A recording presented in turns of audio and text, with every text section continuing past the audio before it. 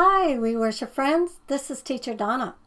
You know, all month long we've been talking about Easter, and we've learned that Jesus is alive and he wants to be our friend forever and ever.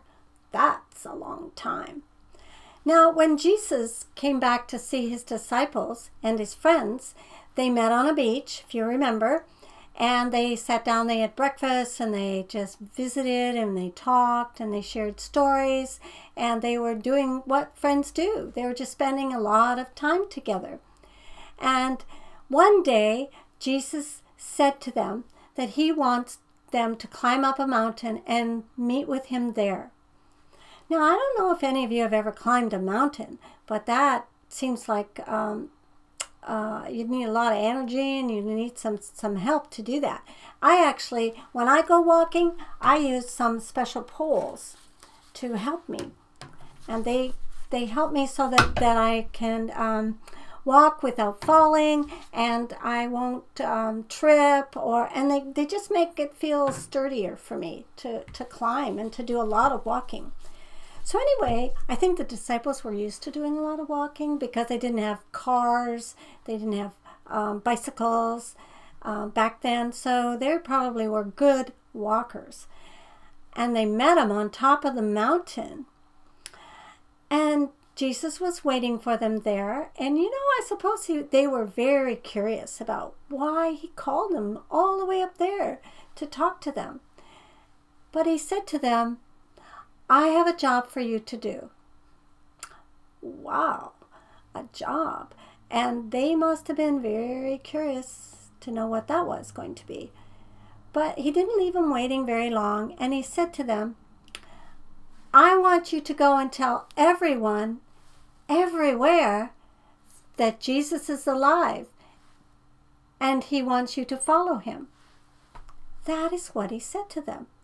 All right, let's let's do that again. So these using these actions help us to remember. So he said, "Go and tell everyone, everywhere, that Jesus is alive, and you can follow him." That's a very important assignment, and you know he he gave that assignment to the disciples, and they did that, and he's giving you the same assignment. So that's why we need to know this this um, actions to help us remember. So let's do it again. Go and tell everyone, everywhere, that Jesus is alive and you can follow him. You know, I'm going to give you an assignment today. I'd like you to, to um, demonstrate that to, to two people. So when I say demonstrate, I just mean practice saying these words with these actions. So one more time, we're going to do it. Go and tell everyone, everywhere, that Jesus is alive and you can follow him.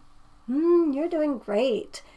And also, all month long, we've been we've been um, remembering our um, memory verse, and we've been practicing that too with some action words. So they they are something we're going to do right again right now too. Okay. I am alive forever and ever. Revelation 1 18. So, who is alive? Jesus is alive. Right.